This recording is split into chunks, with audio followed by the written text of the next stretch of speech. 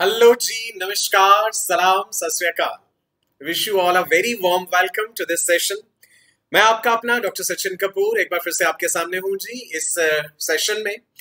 आज डिस्कस करने वाले हैं हम क्लास ट्वेल्थ का ये टॉपिक पहला चैप्टर है क्लास ट्वेल्थ का that is reproduction in organisms एक बार स्क्रीन पे नज़र डालता हूँ कौन कौन लोग जो है हमारे साथ जुड़ चुके हैं।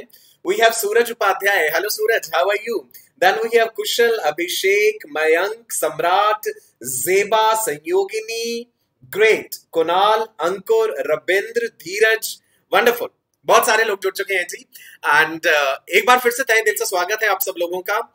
वो बच्चे जो किन्हीं कारणों से नीट 2020 में अच्छा स्कोर नहीं ले पाए हैं आपको डिसहर्टन होने की ज़रूरत नहीं है।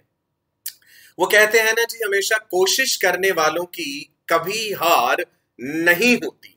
यदि आप कोशिश कर रहे हैं तो आप कभी नहीं हारेंगे। इंसान अपनी गलतियों से सीखता है। सही मार्गदर्शन मिलने पे गलतियाँ करने की संभावना ज़रूर कम हो जाती है। That is what we are trying basically okay so इजाज़त है जी, शुरू कर सकते हैं। और आपके प्यारे प्यारे लाइक्स जो है वो आते रहने चाहिए। साथ साथ आपके लाइक्स मेरे लिए एनर्जी का काम करते हैं। और उतनी ही दुगनी कहते हैं ना, पूरी जील एंड शिद्दत के साथ मैं आप तक पहुँचता हूँ। बहुत से बच्चों को मेरे साथ ये गिला है कि, सर रेगुलर नहीं आ रहे। हमें हर चीज़ रेगुलर पढ़ाइए। सो थोड़ी सी कुछ टेक्निकल प्रॉब्लम्स हैं, जिसकी वजह से रेगुलर मैं आपके साथ नहीं आ पा रहा हूँ। आप में से बहुत से बच्चे मुझे बाइजूस के जो नीट चैनल है, उस पर भी देखते हैं। आप चाहें तो बाइजूस नीट चैनल यूट्यूब का जो है, उसे सब्सक्राइब कर सकते हैं। बेल आइकन को हिट कर दीजिएगा। नोटिफिकेशंस जो है, वो आप तक पहुँच जाएँगे। जो बच्चे मेरे साथ पर्सनली जुड़ना चाहते हैं, आप मुझे इंस्टाग्राम पे मेरे साथ जुड़ सकते हैं।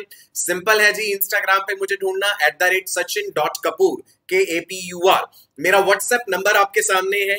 Eight three six eight four five nine three two three. मुझे व्हाट्सएप पे आप मैसेज कर सकते हैं। आपसे निवेदन है व्हाट्सएप पे वीडियो कॉल्स मत कीजिए ऑडियो कॉल्स मत कीजिए दैट इज़ नॉट पॉसिबल आप व्हाट्सएप पे मैसेज करेंगे, मैं आपको ज़रूर जवाब दूँगा। मेडिकल एस्पिरेंट्स के जो ग्रुप्स हैं व्हाट्सएप पे, मैं आप उन, आपको उसमें ऐड कर दूँगा। जिसमें regular study material DPPs e books बहुत सारी चीज़ें मैं उस पर शेयर करता रहता हूँ।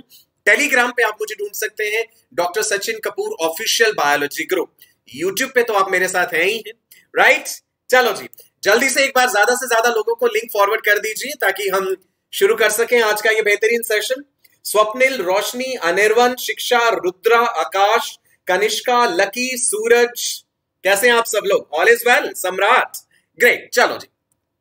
So reproduction in organisms class twelfth का जो पहला चैप्टर है, पहला लेक्चर उसका हम ले रहे हैं। आगे भी इस पे और लेक्चर्स लेंगे। रिप्रोडक्शन है क्या बेसिकली रिप्रोडक्शन का मतलब होता है बेटा एबिलिटी टू प्रोक्रिएट स्वयं अपने जैसे जीवन का निर्माण करना। एक बेसिक सी बात याद रखिएगा। नेचर में जितने भी आप लिविंग ऑर्गेनिजम्स देखते हैं, चाहे प्लांट्स हैं, चाहे एनिमल्स हैं, चाहे कोई यूनिसेलुलर ऑर्गेनिज्म है अल्टीमेटली मकसद सबका एक ही है।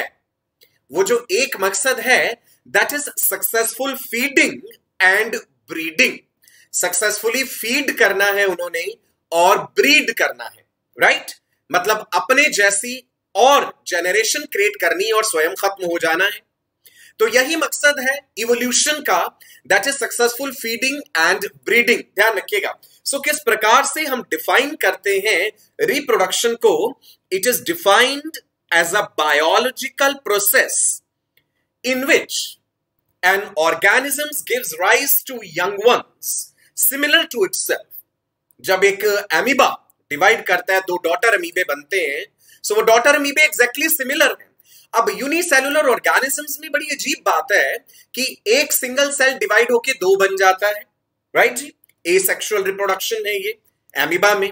पढ़ेंगे हम कई तरह का सेक्सुअल रिप्रोडक्शन सेक्सुअल रिप्रोडक्शन में दो अलग अलग सेल्स मिलके एक सेल बनाते हैं। ओवम एक सेल है स्पर्म एक सेल है, दोनों मिलके एक सेल बना रहे हैं सेक्सुअल रिप्रोडक्शन में।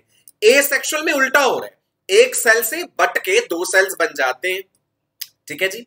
तो रिप्रोडक्शन की दो मेन स्ट्रेटजीज है नेचर में ए सेक्शुअल और सेक्सुअल अभी हम जानेंगे कि नेचर ने सेक्सुअल रिप्रोडक्शन को क्यों बढ़ावा दिया। क्या फ़ायदा रहा होगा? क्या एडवांटेज रही होगी कि लोअर टू हायर जैसे जैसे हम मूव करते हैं अलग अलग फाइला में तो हमें सेक्सुअल रिप्रोडक्शन देखने को मिलता है। ठीक है जी? चलिए। So there is a cycle of birth there is a cycle of growth and death हर जानवर जो है, जन्म लेता है। Every animal start its life as a single cell zygote zygote होता है ना पहले सेक्सुअल रिप्रोडक्शन में।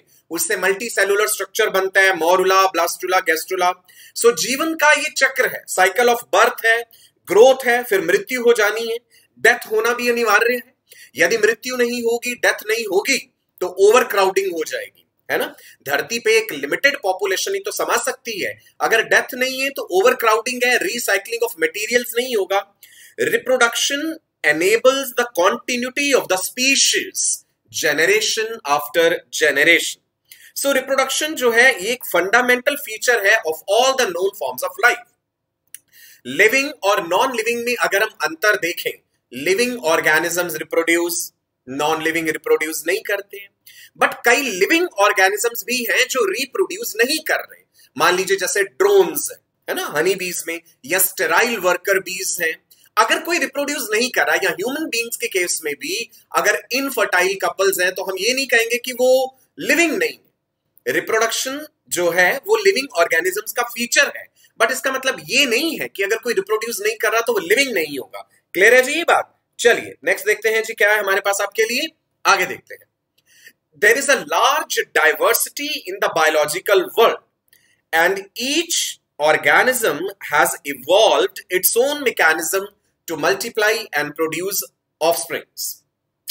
Total आप देखें एनिमल किंगडम या प्लांट किंगडम या बाकी जितने भी किंगडम्स ऑफ़ लाइफ हैं kingdom Monera Protista Fungi Plantae Animalia इतनी डाइवर्सिटी है, सभी ऑर्गेनिजम्स में अलग अलग प्रकार के रिप्रोड्यूस करने के मैकेनिज्म्स इवॉल्व हुए हैं। कई बातें हैं जिन पे निर्भर करता है कि कोई ऑर्गेनिज्म कौन सा मोड ऑफ़ रिप्रोडक्शन यूज़ करेगा। कौन सी बातें हैं? दी ऑर्गेनिजम्स हैबिटेट वो कहाँ रहता है? Its internal physiology and several other factors are collectively responsible for how it reproduces clear है जी? वो कौन कौन से फैक्टर्स हैं? देखेंगे अभी हम आगे। Based on whether there is participation of one organism और टू रिप्रोडक्शन में एक ही ऑर्गेनिज्म पार्टिसिपेट कर रहे हैं मतलब वो यूनिपेरेंटल है या वो बाय पेरेंटल है? इसके आधार पे हम रिप्रोडक्शन की स्ट्रेटजीज को क्लासिफाई कर देते हैं। राइट जी? Asexual reproduction sexual reproduction better strategy कौन सी है? सेक्शुअल बेटर क्यों है? क्योंकि सेक्सुअल रिप्रोडक्शन के कारण वेरिएशन आती हैं। When offspring is produced by a single parent with or without the involvement of gamete formation या तो गैमिट फॉर्मेशन हुआ, ये एनसीआरटी की लाइन बता रहा हूँ आपको। With or without the formation of gametes rarely कुछ एग्जाम्पल्स हमें ऐसे मिलते हैं जहाँ पे ए सेक्शुअल रिप्रोडक्शन में गैमीट फॉर्मेशन हुआ तो ऐसे केस में, किस केस में? When the offspring is produced by a single parent, uniparental जब हुआ तो uniparental mode जो है बेटा ऑल माई राजा बेटा एंड रानी बेटियाँ यूनिपेरेंटल मोड ऑफ़ रिप्रोडक्शन जो है वो एसेक्सुअल है। क्लियर है जी इतनी बात? Right is it clear Chetna Rohit, Zeba, Sahil, Anu, Pushkar, Kaleem, Sagar, Navneet, Shrinath, Rashmi, Akshay, Rocky, wonderful, जिन्होंने अभी तक लाइक का बटन नहीं दबाया है, आपके प्यारे प्यारे लाइक्स जो है वो आते रहने चाहिए भाई साथ साथ। क्वेश्चंस भी मैं आपको इसके दूँगा। आप मेरे साथ टेलीग्राम पे व्हाट्सएप ग्रुप पे जुड़ जाइए। इस टॉपिक से रिलेटेड जो डीपीपीज हैं डेली प्रैक्टिस पेपर्स या पिछले सालों के क्वेश्चंस हैं, वो आपके साथ शेयर करता रहूँगा। ठीक है बेटा? चलो, आगे देखते हैं। वेन टू पेरेंट्स जब दो पेरेंट्स इन्वॉल्व हैं ऑपोजिट सेक्स के male and female when they are participating in the reproductive process यानी जब fusion of male and female gamete हो रहा है, मान लीजिए ये फीमेल गैमीट है ओवा ये मेल गैमीट है स्पर्म जब इनके फ्यूजन से रिप्रोडक्शन हुआ, तब हमने कहा sexual reproduction right so sexual reproduction जो होता है sexual reproduction is bye parental दो पेरेंट्स इन्वॉल्व होते हैं इसमें। वेराइटी आती है सेक्सुअल रिप्रोडक्शन में। It brings variations variations provide raw material for evolution ये बात ध्यान रखना है। वेराइटी के कारण जो है इवोल्यूशन हो रहा है। ठीक है जी? इवोल्यूशन क्या है basically Darwin defined evolution as descent with modification कि आगे आने वाली जनरेशन जो है, वो मॉडिफाइड होती हैं, वो बेहतर होती है। रिप्रोडक्शन की अब दो मुख्य स्ट्रेटजीज हमारे सामने हैं that is asexual and sexual दोनों में क्या क्या अंतर है, एक बार हम देख लेते हैं जी ए सेक्शुअल और सेक्शुअल में। पहले asexual an organism can reproduce without involvement of other organism right इसका मतलब है जो सॉलिटरी है, जो चल फिर नहीं सकते इमोबाइल है, जो मीटिंग पार्टनर नहीं ढूंढ सकते, वो भी रिप्रोड्यूस कर पाएँगे। है ना? ये एडवांटेज हो गया। अगर कभी हमसे पूछा जाए कि advantage of A sexual reproduction क्या है तो हम ये कहेंगे that even sessile organisms which cannot move, they can also reproduce. So, an organism can reproduce without the involvement of another organism. कोई मेटिंग पार्टनर ढूँढने की आवश्यकता नहीं। It is not limited to single celled organisms right asexual reproduction सिर्फ़ single celled नहीं है। कई multi cellular भी है जो ए सेक्सुअली रिप्रोड्यूस करते हैं। हाइड्रा मल्टी सेलुलर है बडिंग होता है इसमें right now cloning it is cloning. Cloning is a form of asexual reproduction. An organism creates a genetically similar or identical copy of itself. Cloning में क्या है? Genetically similar copy जो है organism की बन जाती है। ए एसेक्सुअल रिप्रोडक्शन के एडवांटेज में क्या क्या बोला? That even those organisms which cannot move they can also reproduce those who are not able to search their mating partner. दूसरी बात ये है that it is a very faster mode of reproduction. बड़ी तेज़ी से एसेक्सुअल रिप्रोडक्शन में जो है नई जेनरेशन प्रोड्यूस होती है। जब एनवायरमेंटल फैक्टर्स फेवरेबल हैं, जब एनवायरमेंटल फैक्टर्स फेवरेबल हैं, उस समय asexual reproduction is employed to exploit suitable conditions for survival मतलब फेवरेबल कंडीशंस क्या हो गई? फ़ूड सप्लाई बेहतर होना चाहिए, तापमान मॉइस्चर ह्यूमिडिटी ये सारी चीज़ें फेवरेबल हैं शेल्टर अवेलेबल है क्लाइमेट फेवरेबल है पीएच ऑप्टिमम है तो जब ये सारी चीज़ें फेवरेबल हो जाएँगी, उस समय ए सेक्सुअली रिप्रोड्यूस अगर ऑर्गेनिज्म कर रहा है, बड़ी तेज़ी से उसकी जनसंख्या बढ़ेगी। लिखा है जी population increases exponentially to take full advantage of the rich supply resources clear हुई जी बात? राइट जी चलिए, प्यारे प्यारे लाइक्स दबाते रहिएगा साथ साथ और मैं आपके नाम भी एक बार पढ़ देता हूँ, उत्कल वेंकटेश्वर, नितिन शंकर, जेबा क्रेजी डॉक्टर के नाम से भी आईडी है जी एक। पुष्कर मॉडल ने हार्ट्स भेजे हैं thank you so much Natasha Kaleem crazy doctor कैसे हैं जी आप? क्लास इलेवेंथ में है, तब भी आपको चीज़ें समझ आ रही होंगी वैसे ही। ना अब एक टॉपिक समझते हैं evolution of sexual reproduction sexual reproduction evolve कैसे हुआ और क्यों हुआ? बहुत से ऑर्गेनिजम्स ऐसे हैं there are many organisms which can reproduce sexually as well as asexually दोनों तरह से। हाइड्रा में भी तो होता है सेक्सुअल भी ए सेक्सुअल भी स्पॉन्जेस में फाइलम पॉरीफेरा में ए सेक्सुअल भी है सेक्सुअल भी है। सो एफिड्स हो गए स्लाइम मोल्ड हो गए sea anemones even some species of starfish यहाँ पे स्टारफिश दिखाई गई आपको। कौन से फाइलम को बिलोंग करती है? स्टारफिश बताइए जल्दी से। To which phylum starfish belongs Is it phylum Porifera? Is it phylum Nidaria? Is it Annelida? Is it Echinodermata? Srishti starfish का फाइलम बताइए जी Saurabh Nargis Nitin Sakshi Abhishek Uday can you tell me to which phylum starfish belongs Babita Kumari Alok Nargis Khanam हाँ जी, जल्दी से, अभी तक जवाब नहीं आया मेरे पास वेरी गुड ये ओनली स्टडी एनसीएससी के नाम से कायदी है। उन्होंने कहा जी इकाइनोडर्मेटा सम्राट ने भी सही कहा है, शिवांक, बिल्कुल सही जवाब। इकाइनोडर्मेटा को स्टारशिप स्टारफिश बिलोंग करती है। एस्टीरियस स्टारफिश के टुकड़े टुकड़े आप कर दीजिए, वो अपने आप को रीजनरेट कर लेती है। एक आर्म और सेंट्रल डिस्क होना चाहिए, पूरी स्टारफिश उससे बन सकती है। Excellent power of regeneration now अब सुनिए। मैंने कहा, जब फेवरेबल होंगी सारी चीज़ें environmental conditions pH food supply shelter तो एसेक्सुअल रिप्रोडक्शन एक बेहतर तरीका है।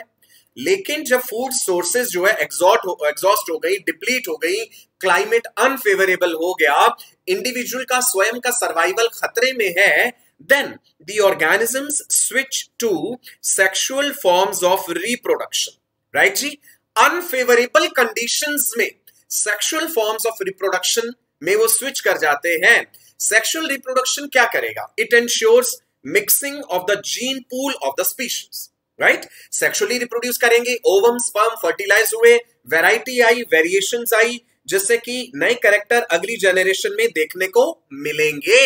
सो so, बड़ी इंपॉर्टेंट बात है वेरिएशंस अगर हमसे कोई पूछे एडवांटेज क्या है सेक्सुअल रिप्रोडक्शन का तो वो है variations right what are variations small differences which are found among organisms belonging to same species हम वेरिएटी की बात वेरिएशन की बात सेम स्पीशीज में करते हैं ध्यान रखिएगा variations found in the offsprings of sexual reproduction they allow some individuals to be better suited for survival and provide a mechanism for selective adaptation to occur इसका मतलब क्या है वैरायटी होगी तो natural selection which is the force of nature operate करेगा।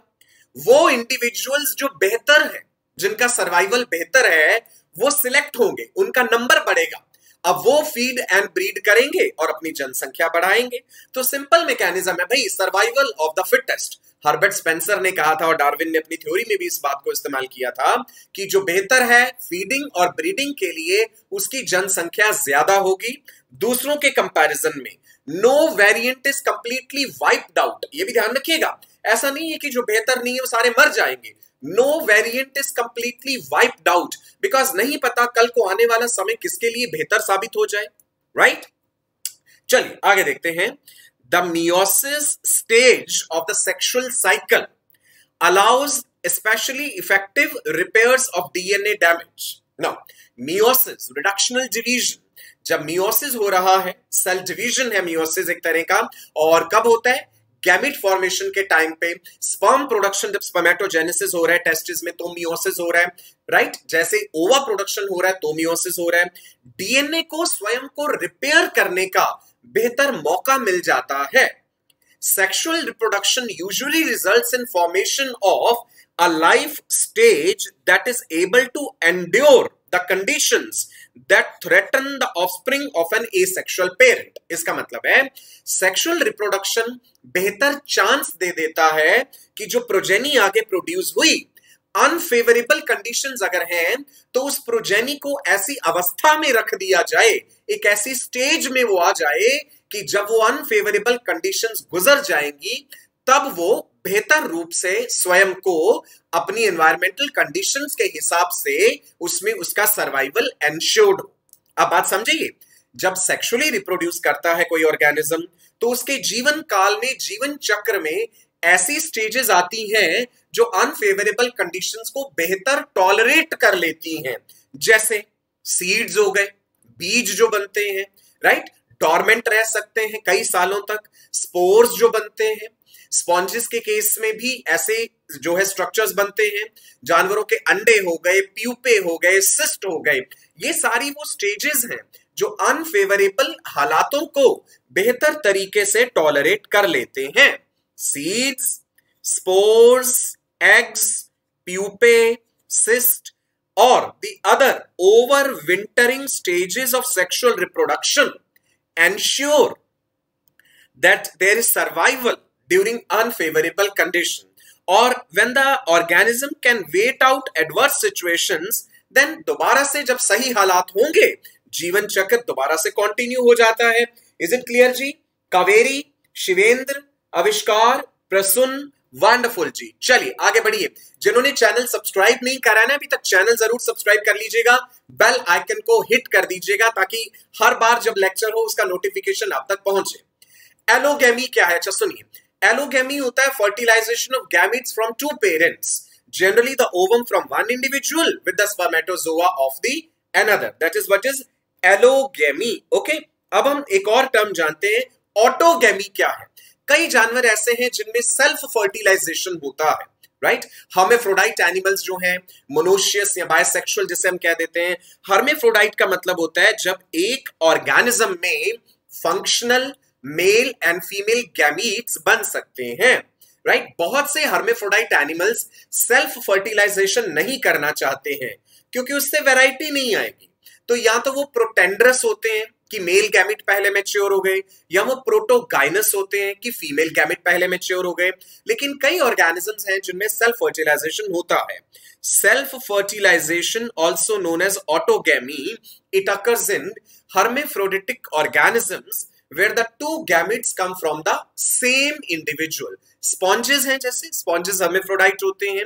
Cnidaria phylum में hermaphrodite examples मिलेंगे आपको राइट right? एग्जांपल में many vascular plants some foraminiferan some ciliates also right चलिए।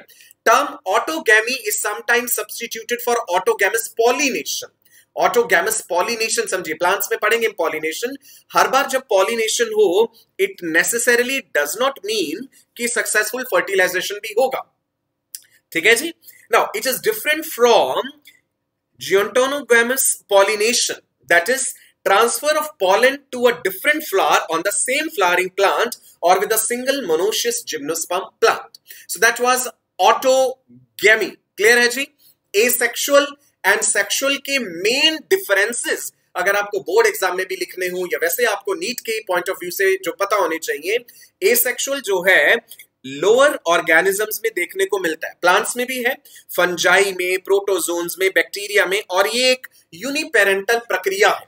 जबकि सेक्सुअल रिप्रोडक्शन में दो पेरेंट्स इन्वॉल्व हैं it is a biparental process male parent female parent या सेक्सुअल रिप्रोडक्शन तो हर्मेफोडाइट एनिमल में भी हो सकता है। हर्मेफोडाइट जब same individual functional male and female gamete बना रहे हैं। सेक्सुअल रिप्रोडक्शन जो है it is found in almost all the animals plants and even fungi bacteria and protist so बहुत से ऑर्गेनिजम्स हैं जिनमें सेक्सुअल रिप्रोडक्शन है। और याद रखिएगा सेक्सुअल रिप्रोडक्शन जो है, एक बेहतर स्ट्रेटेजी है रिप्रोडक्शन की। ओके okay जी? ए सेक्सुअल रिप्रोडक्शन में मोस्टली मोस्टली कह हूँ मैं the gametes are not produced NCERT में क्लाइन लिखा है with or without the formation of gametes somatic cells जो हैं they act as reproductive cells Hydra की बॉडी से कुछ सेल्स ले लीजिए। भाई, वो थोड़े से सेल्स ही जो है, अगली जनरेशन का निर्माण कर सकते हैं। ए सेक्शुअल रिप्रोडक्शन में फर्टिलाइजेशन नहीं होता राइट सेक्सुअल रिप्रोडक्शन में फर्टिलाइजेशन होता है मेल और फीमेल गैमिट में, और जाइगोट बनता है।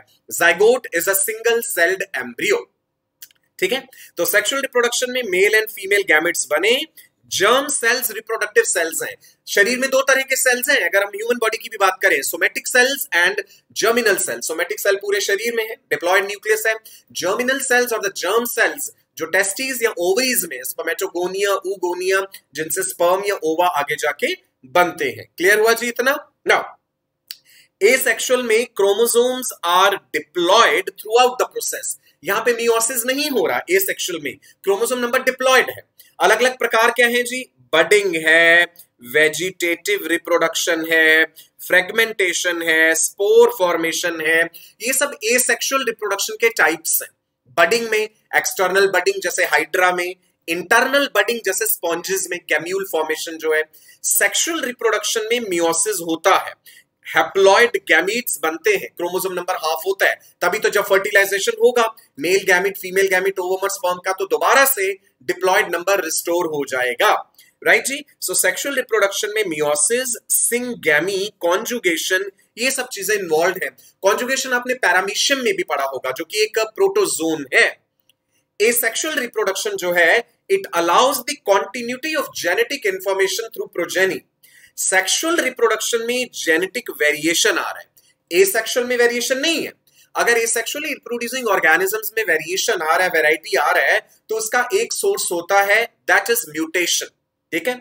ए सेक्सुअल रिप्रोडक्शन बड़ा तेज़ी से होता है रेपिडली यहाँ पे रिप्रोडक्टिव ऑर्गन्स रिक्वायर्ड नहीं है। सेक्सुअल रिप्रोडक्शन कंपैरेटिवली जो है लेस रैपिडली मतलब स्लो प्रोसेस है, और यहाँ पे prominent male and female reproductive organs involve होते हैं ज़्यादातर ऑर्गेनिजम्स में। इज़ इट क्लियर जी राइट right. जिन्होंने अभी तक लाइक का बटन नहीं दबाया, जल्दी से लाइक का बटन दबा दीजिए। आपके लाइक्स मेरे लिए एनर्जी का काम करते हैं। Right right? चलो जी, आगे बढ़ते हैं। डिफरेंसेस हो गए। इधर देखिए types of a sexual reproduction आपको हाइड्रा दिख रहा है यहाँ पे। हाइड्रा के बारे में आप बचपन से पढ़ते आ रहे हैं, क्लास नाइन्थ में भी आपने पढ़ा होगा। सीलेंट्रेटा या निडेरिया फाइलम का मेंबर है। छोटा सा चावल के दाने जितना होता है very good power of regeneration कहते हैं जी। हाइड्रा अमर है, ये कभी भी नहीं मरता। इसमें आफ्टर एवरी फोर्टी डेज़ पूरी बॉडी के सेल्स रिप्लेस हो जाते हैं।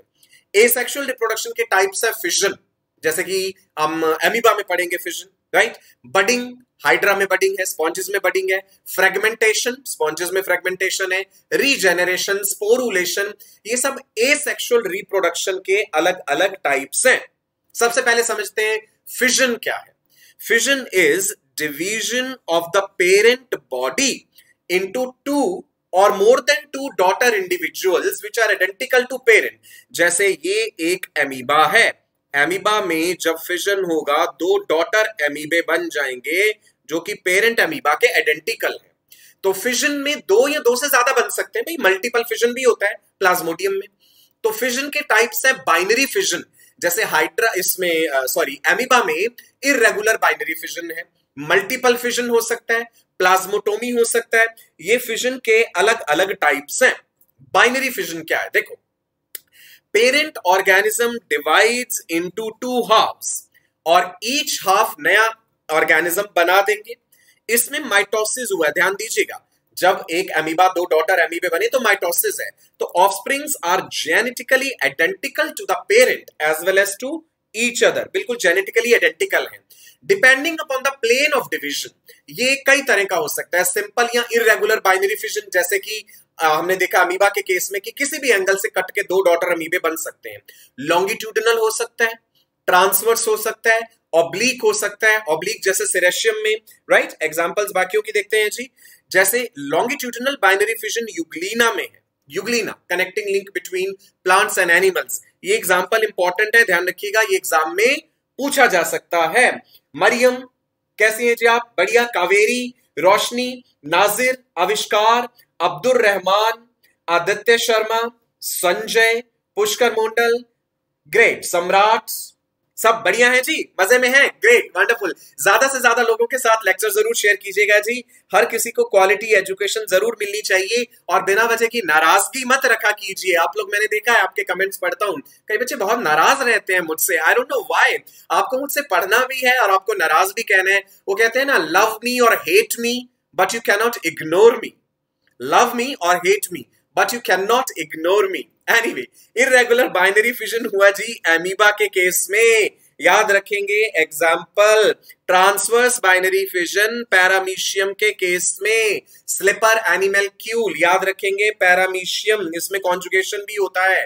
ऑब्लिक बाइनरी फिजन हुआ सिरेशियम में। Ceratium is a shelled protozoan right right? Protozoa में पढ़ेंगे इसके बारे में मल्टीपल फिजन में the parent body divides into many daughter individual multiple fission amoeba में भी पाया जाता है और प्लाज्मोडियम में भी प्लाज्मोडियम भी एक प्रोटोजोन है प्लाज्मोडियम क्या कॉज करता है malaria female Anopheles mosquito plasmodium का लाइफ साइकिल क्लास ट्वेल्थ के सिलेबस में पढ़ेंगे हम ठीक है जी एग्जांपल्स याद रहेंगी ऑल माई राजा बेटा एंड वानी बेटियाँ Kaveri Abdul Pranjal Nitin is it clear great जी। चलिए, आगे बढ़ते हैं, देखते हैं जी क्या है हमारे पास और। Now plasmotomy plasmotomy is a special type of fission in which a multi nucleated protozoan जो पहले से मल्टी न्यूक्लिएटेड होगा, जैसे पीलोमाइक्सा पीलोमाइक्सा multinucleated protozoan, it divides into two or more multinucleated daughter individuals. पहले से ही multinucleated है जब उसमें जो है प्लाज्मोटोमी हुआ तो जो नेक्स्ट जनरेशन बनी फिर से मल्टी न्यूक्लिएटेड ही बनेंगे चलिए जी सो so, आज के लिए इतना ही थोड़ा सेशन ब्रीफ रखा है मैंने। ऐसे छोटे छोटे सेशंस आपके साथ में लेता रहूँगा। जल्दी से बता दूँ, जो बच्चे मेरे साथ कनेक्ट होना चाहते हैं, आप मुझे इंस्टाग्राम पे ढूंढ सकते हैं। इंस्टाग्राम पे फॉलो कीजिए। मेरा व्हाट्सएप नंबर आपके सामने है स्क्रीन पे। आप व्हाट्सएप पे मुझे मैसेज कर सकते हैं। आपको मैं व्हाट्सएप ग्रुप में ऐड कर दूँगा, ताकि आने वाले हर लेक्चर का notification study material e books Campbell की ई बुक आपको चाहिए, या और किताबें चाहिए। और डेली प्रैक्टिस पेपर्स आपको मिलते रहेंगे। यूट्यूब पे चैनल जो है मेरा सब्सक्राइब कर लीजिए बेल आइकन को हिट कर दीजिए। Is it clear ji? All of you Prajakta, Chhaya, Dheeraj, Gaurav, जिन्होंने लाइक नहीं करा था अभी तक, जल्दी से लाइक का बटन दबा दीजिए। और एक बात बता दूँ, जो बच्चे मुझसे पढ़ना चाहते हैं रेगुलर सेशंस में, बाइजूस का जो नीट चैनल है, आप वो भी ज्वाइन कर सकते हैं। मैं वहाँ पे भी यूट्यूब पे आपके साथ लेक्चर्स ले रहा हूँ। और उसके अलावा बाइजूस का वेबसाइट एक्सप्लोर कीजिए। अगर आप मेरे साथ रेगुलर जुड़ना चाहते हैं I wish you all a very very bright and prosperous future God bless you all जी। नमस्कार, अब आपसे विदा लेता हूँ। चैनल सब्सक्राइब कर लीजिएगा बेल आइकन को हिट कर दीजिएगा और नाराज़गी मत रखिएगा। Wish you all a very bright future नमस्कार जी। Bye bye God bless you all